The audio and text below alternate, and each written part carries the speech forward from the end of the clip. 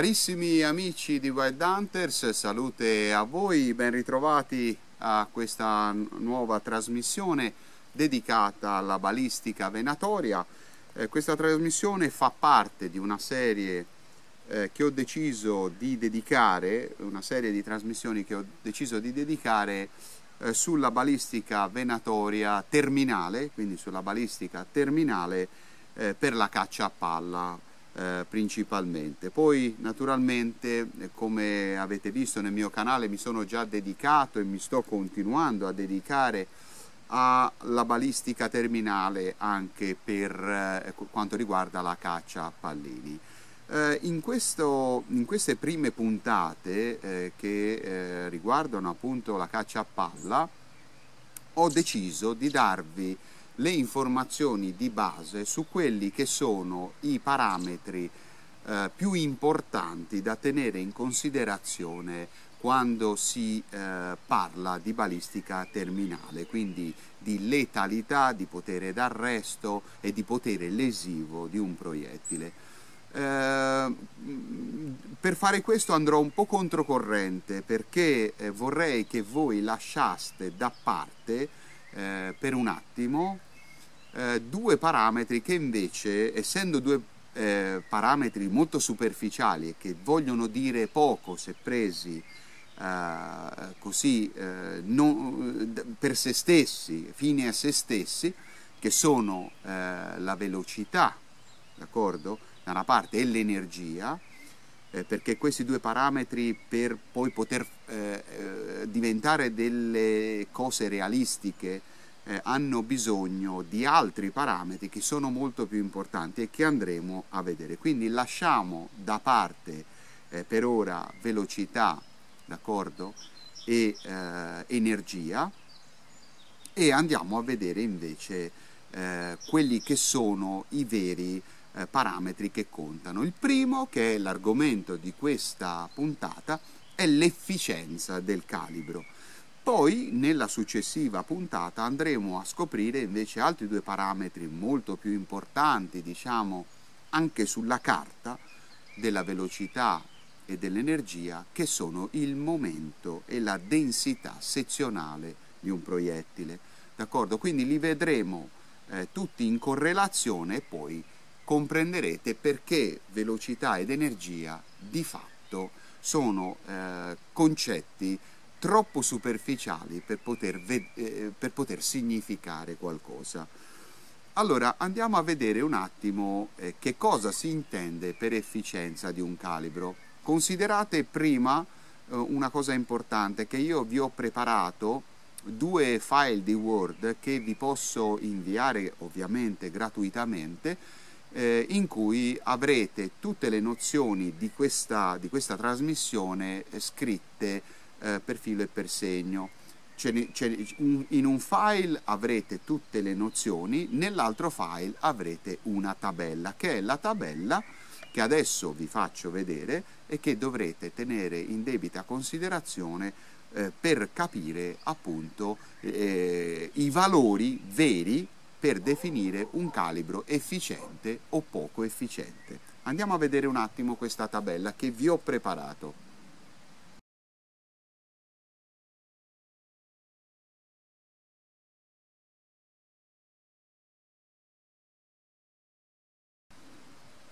Allora, questa tabella che eh, vi ho preparato vi servirà a eh, comprendere eh, i veri valori eh, che fanno di un calibro eh, efficiente, eh, quindi degno di un grande successo commerciale e distinguendolo dagli altri che invece non hanno avuto quel successo.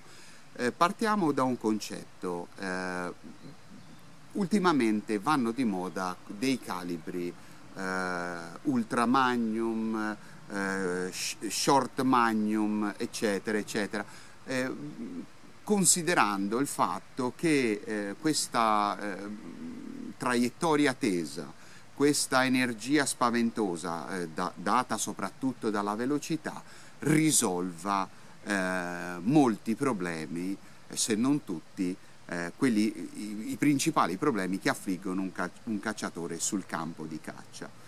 eh, in realtà eh, questi calibri non hanno avuto assoluto, assolutamente successo, diventano delle iperboli per chi eh, ama avere tante armi, sperimentare, eccetera, eccetera, però di fatto non hanno eh, risolto, anzi hanno eh, purtroppo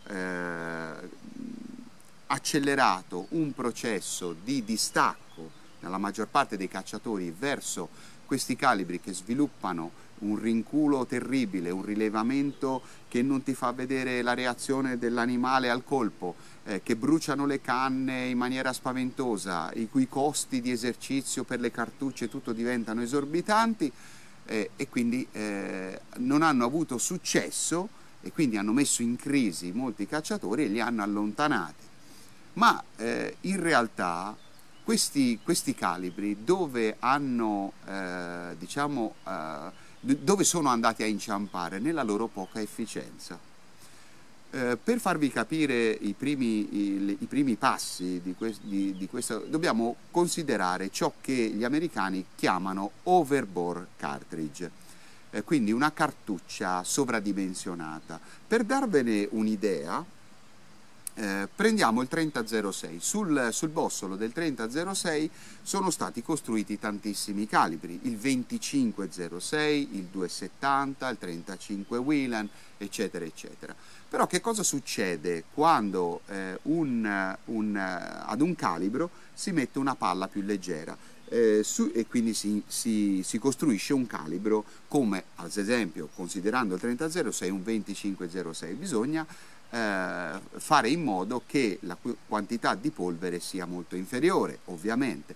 Quindi eh, abbiamo 51 grani, per esempio, come dose massima su un 2506, eh, o massima o quasi, per rimanere nella precisione, eh, eh, per andare poi eh, successivamente ai 53-54 di un 270 e via così.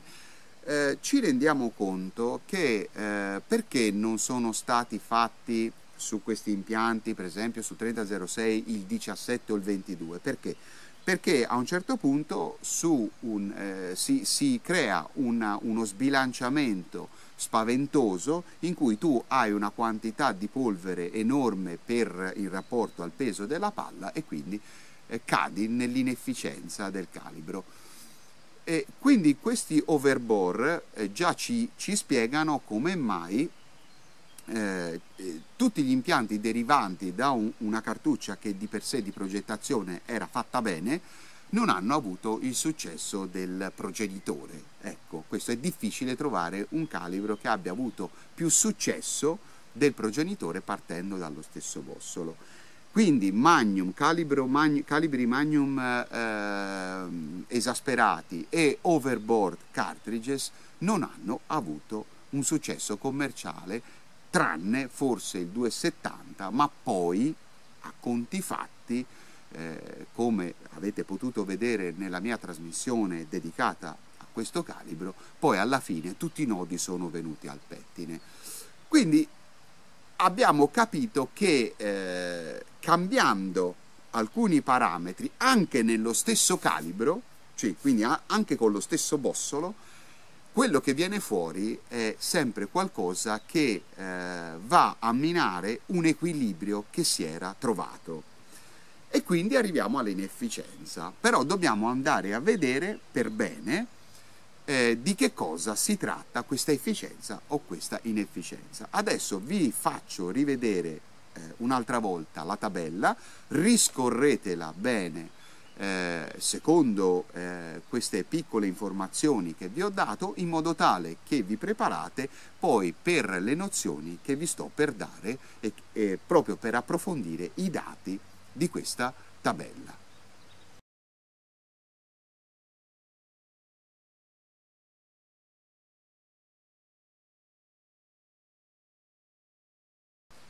Allora, lo scopo di questa tabella è di eh, classificare i vari calibri più famosi, eh, presi con il peso di palla standard, d'accordo, con la dose eh, standard, cioè che garantisce la migliore precisione possibile, per darvi un'idea, eh, quindi un parametro che appunto il parametro eh, vedrete che è il fattore L, ora ci arriviamo, che è il parametro, il numero che dovete vedere per confrontare i vari calibri. D'accordo? Quindi per scoprire l'efficienza. Ma che cosa si intende per efficienza di un calibro? Si intende la sua capacità di fornire le migliori prestazioni sia a livello di precisione eh, che di eh, efficienza, proprio di, cioè di eh, letalità sull'animale, con il, il, il, il minor eh, peso di polvere possibile. Quindi andrà vista una formula sul, sul grano di polvere in modo da capire qual è l'impianto balistico, quindi il calibro, che con meno polvere rispetto agli altri riesce ad avere le prestazioni migliori. D'accordo? Per arrivare a questa, a questa, classifica, naturalmente, ho dovuto scegliere eh, i, pa i, parametri, quindi scegliere gli elementi fondamentali per poter eh, arrivare ad una classifica per poterci capire qualcosa.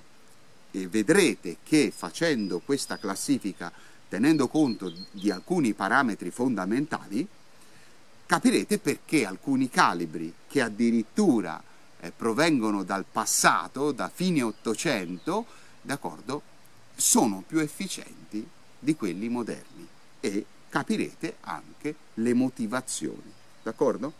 Allora, eh, come avete visto dalla, dalla, tabella, io innanzitutto ho fatto un elenco di calibri.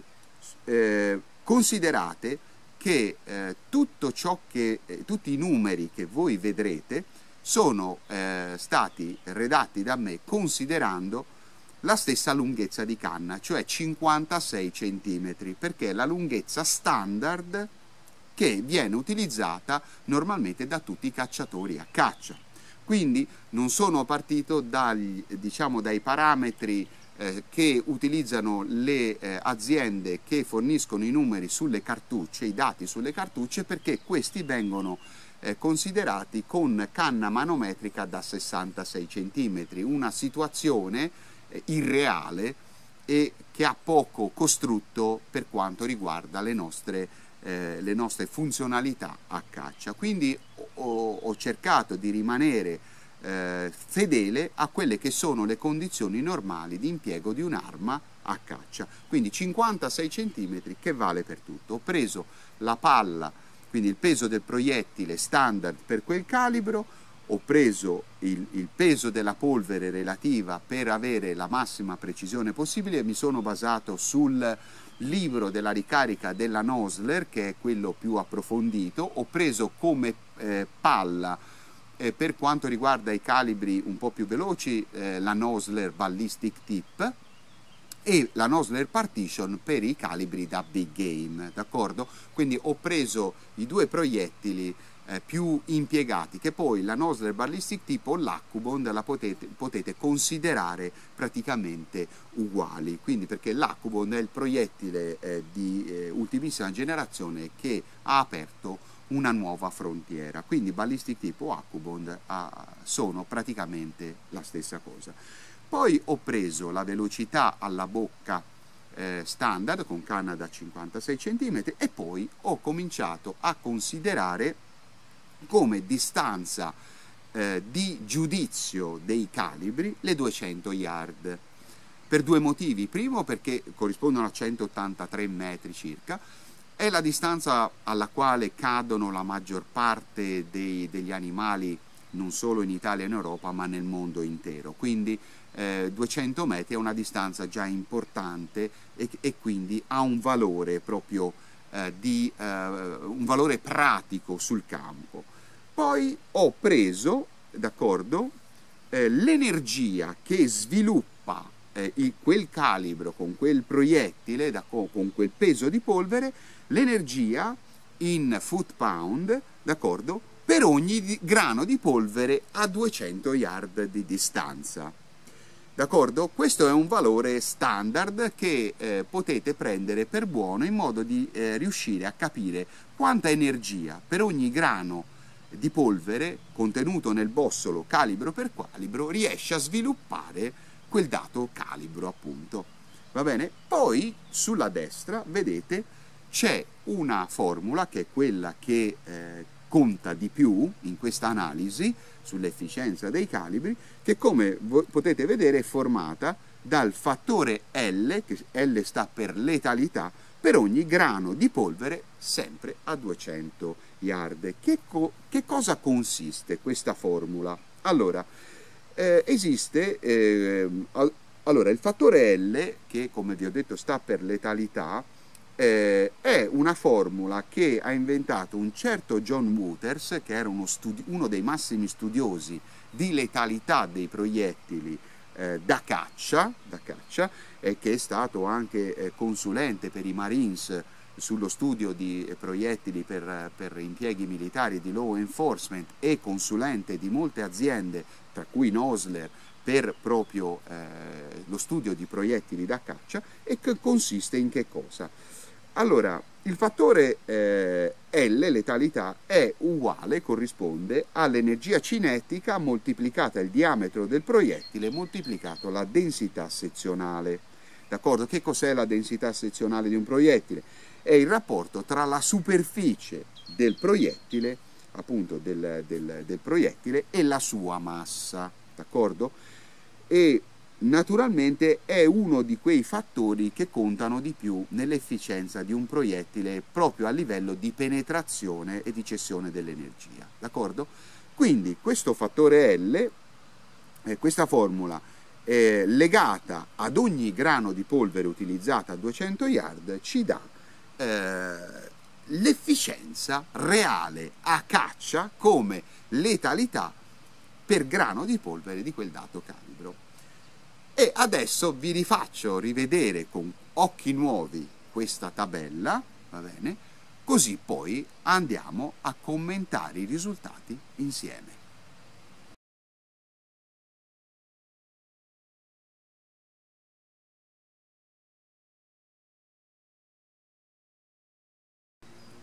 Eccoci dunque arrivati al nocciolo della questione. Andiamo a vedere quali sono i calibri più efficienti secondo la formula che abbiamo visto che tiene eh, in debito conto tutti quelli che sono i più importanti parametri per giudicare l'efficienza di un calibro e del relativo proiettile.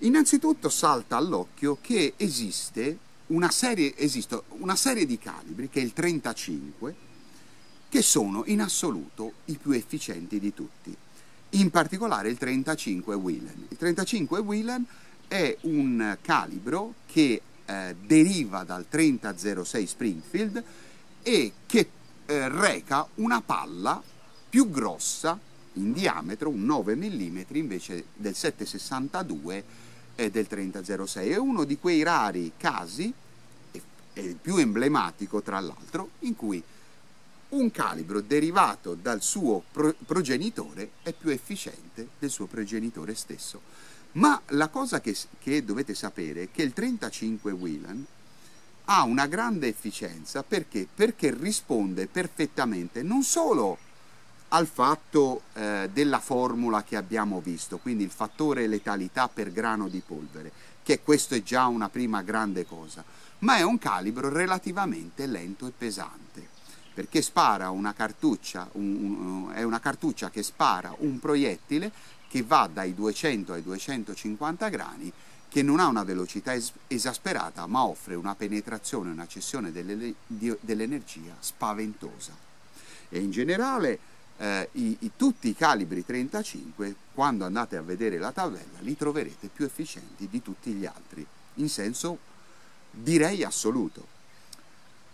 E questo ci dice tutto, perché il bossolo del 30, eh, 3006, qualora allargato e eh, qualora ospitante una palla più pesante, dà eh, possibilità ad ogni grano di polvere di essere il più efficiente possibile. Altri calibri eh, estremamente efficienti nel loro, eh, nella loro cerchia, quindi ad esempio nella cerchia del big game, andate a vedere il 375 Holland e Holland che per grano è assai, ma, ma, molto, ma molto più efficiente dei vari 375 Remington Ultra Magnum e addirittura del 378 Wetter di Magnum, che contengono molta più polvere, che hanno molta più velocità, però sono meno imprecisi e meno efficienti. Ecco perché il 375 Holland Holland ancora oggi rimane il calibro da big game numero uno al mondo. Per trovare numeri più grandi ah, dobbiamo scomodare il 4,16 Remington Magnum, che anche lui è un calibro eh, enormemente efficiente, però al prezzo di rinculo, di un rinculo, di un rilevamento, di un peso dell'arma, di costi enormemente superiori. Poi se invece andiamo a vedere i calibri medi, partendo per esempio dal 6,5 x 55, guardate i numeri 6,5 x 55, 7 x 57 mouse, vi renderete conto come mai, come mai quei calibri eh, progettati e costruiti dall'uomo a fine 800 siano ancora oggi, nonostante che siano state inventate polveri moderne, eh, eh, che si conoscano eh, formule, eh, ma materiali e conoscenze della balistica eh, esterna, interna e, e terminale, ma molto ma molto maggiori di 120 anni fa, di 130 anni fa, rimangono ancora oggi i calibri più efficienti. E questo ci deve insegnare che cosa? Ci insegna innanzitutto che tutta questa fuffa eh, dei, su, di questi calibri esoterici, tutto, tutto, è, è, proprio un, un, è semplicemente commercio.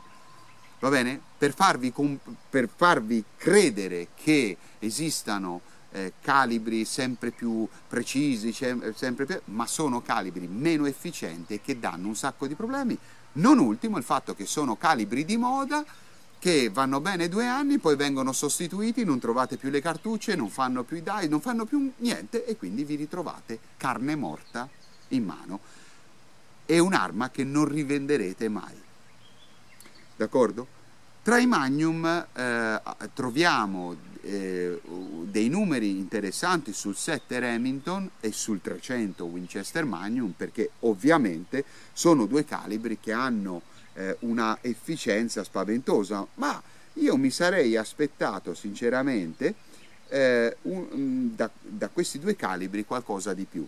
Quello che invece eh, ha decretato il grande successo del 300 Winchester Magnum è il fatto della grande precisione. Quello è un calibro estremamente per, preciso per motivi che vanno oltre le formule matematiche e che eh, essendo preciso vi consente di mettere lì un proiettile da 180 grammi che ovviamente eh, ha una letalità spaventosa. D'accordo? Quindi sono interessanti questi dati perché spiazzano tutti i magnum, i super magnum, gli ultra, i short, eccetera, eccetera. Ci riportano più sulla terra e ci danno eh, l'idea che eh, per quanto ehm, eh, i calibri moderni eh, possano essere pompati dalla pubblicità, in realtà quello su cui potete eh, contare sono i calibri quasi dell'antichità, mi verrebbe da dire. È chiaro che fra i calibri militari, se andate a vedere il 308, il 3006, il 7x57 sono quelli in assoluto eh, più efficienti, ma esistono anche per esempio nell'ambito dei, dei 7 mm eh, delle, delle, de, delle eh, dei, degli impianti balistici interessanti. Ad esempio nei 7 mm a, a, un goccio dal 7x57 troviamo il 7 mm 08 Remington che è un calibro che non ha avuto il successo che, si, che meritava eh, perché non è stato compreso bene, non è stato appoggiato dalle case costruttrici di munizioni ma è un calibro che io ho provato a caccia è veramente un, un, un signor calibro. Il 308 rimane un punto di riferimento con un 3.58, quindi con una misura spaventosamente eh, eh, enorme, d'accordo? Poi troviamo un altro calibro incredibile no? per efficienza,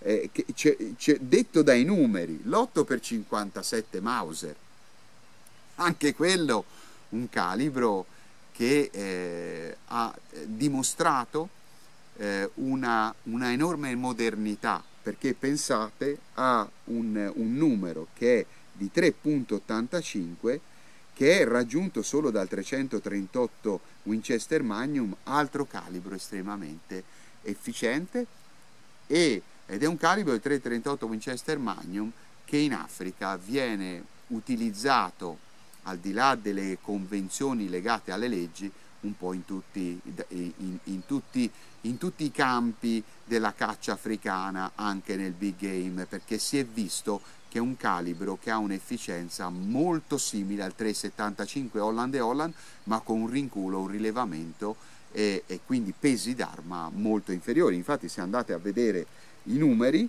eh, il 375 Holland e Holland è 4.35 e il 338 arriva a 3.84, quindi eh, pur non avendo l'efficienza del 3,75 ma ci arriva eh, in, in, pieno. Quindi ecco spiegato eh, l'arcano sul grande successo eh, ineguagliato dei calibri, eh, dei vecchi calibri dal 6,5 x 55 Swedish Mauser fino a tutti gli altri eh, ex militari eh, che continua, eh, diciamo successo commerciale che eh, continua tutt'oggi, avete capito eh, con delle formule semplicissime ma estremamente eh, attaccate alla realtà, quindi al, alla letalità del proiettile, quindi la, sezione, la, la, la densità sezionale che vedremo nella prossima, nella prossima puntata di che cosa si, si, cosa si, intende, al di là del discorso del rapporto di formule, ma eh, quello è un calibro che, come il 7x57, eh, mostrava subito all'occhio, prendendo una cartuccia, una, un proiettile lungo, molto lungo e sottile, ed era quello uno dei, dei, dei segreti del successo di, di, quei, di quei calibri lì, e che eh, portati su una formula che riguarda la letalità vi ha spiegato per filo e per segno eh, il perché eh, bisogna stare sempre attenti a ciò che eh, la proposta commerciale dà rispetto a quello che in realtà sono i bisogni del cacciatore, le necessità del cacciatore sul campo di caccia. Va bene? Spero di avervi dato tutte eh, le eh, nozioni eh, rimango a vostra disposizione per mandarvi tutto ciò che ho detto, eh, vi posso mandare un file di Word che vi ho preparato, che è qui vicino a me, la tabella ve la mando, così ve la studiate con calma e eh, potete approfondire questo importante tema. Bene, ci vediamo molto presto, eh, vi faccio rivedere la tabella, ci vediamo molto presto per eh, la prossima eh, puntata dedicata al momento e alla densità sezionale dei proiettili. A presto.